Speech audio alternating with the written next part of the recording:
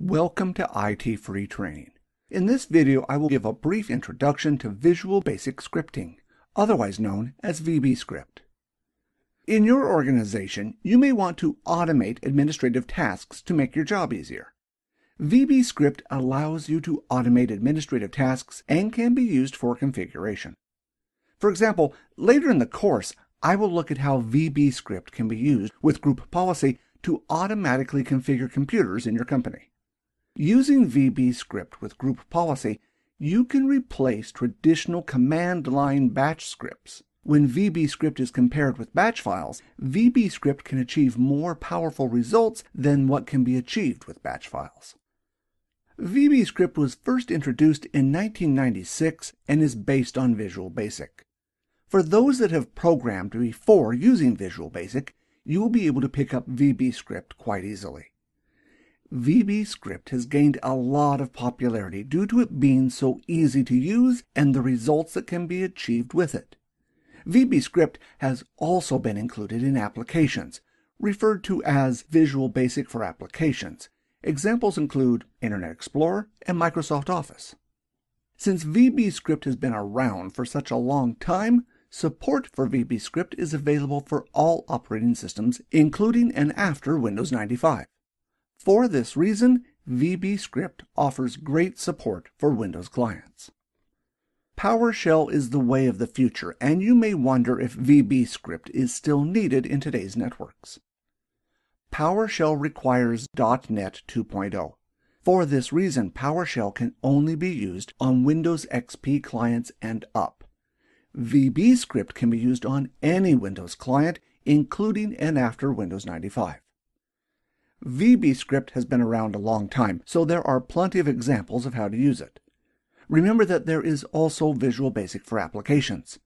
Depending on what the code does, a lot of the time, code from Visual Basic for applications can be used in VBScript with minimal changes.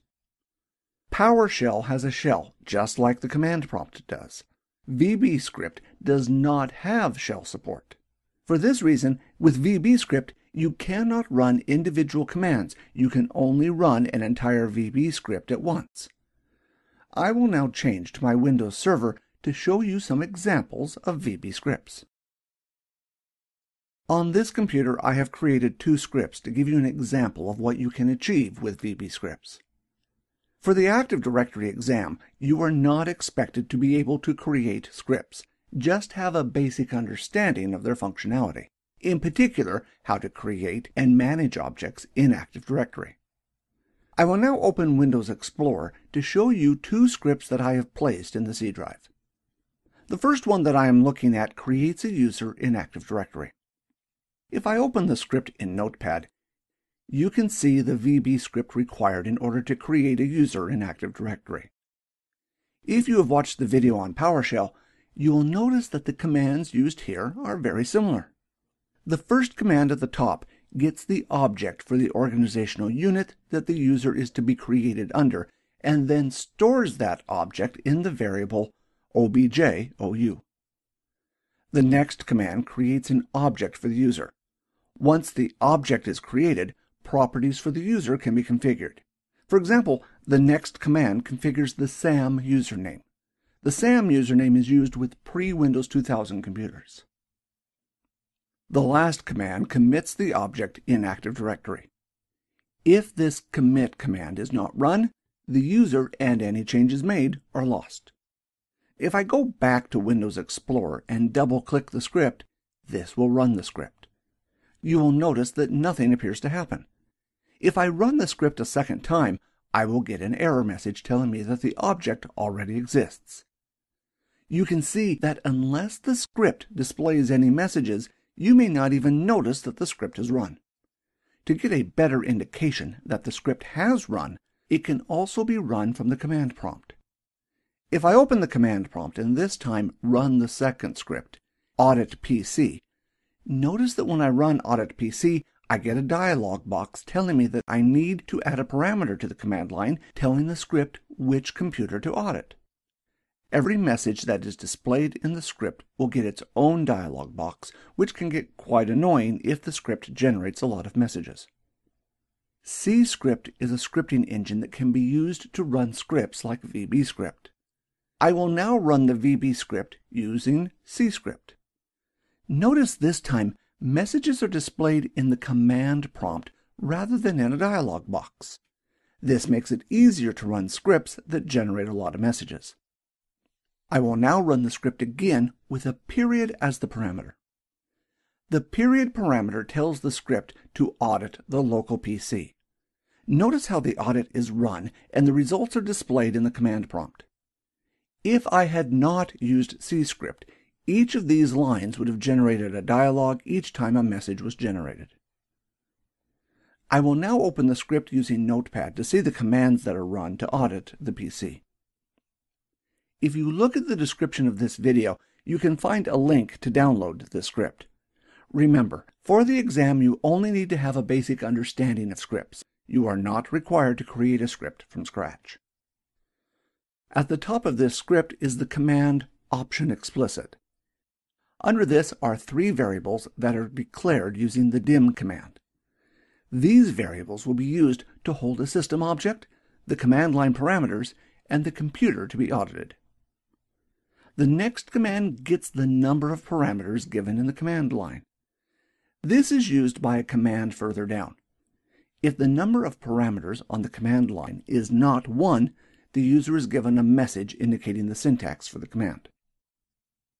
The next command sets a variable called target computer to the first parameter given in the command line.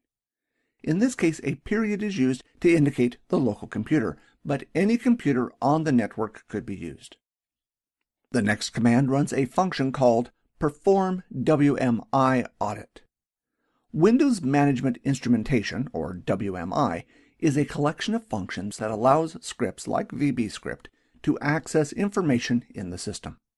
Using WMI, VBScript can access information that can be used for auditing and configuration.